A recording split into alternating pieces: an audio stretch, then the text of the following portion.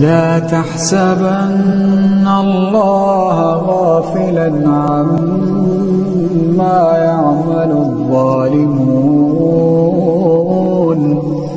إنما يوخرهم ليوم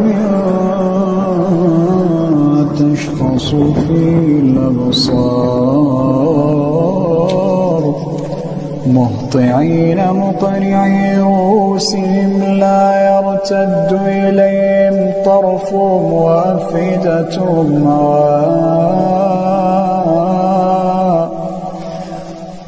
وأنذر الناس يوم يأتيهم العذاب فيقول الذين ظلموا فيقول الذين ظلموا ربنا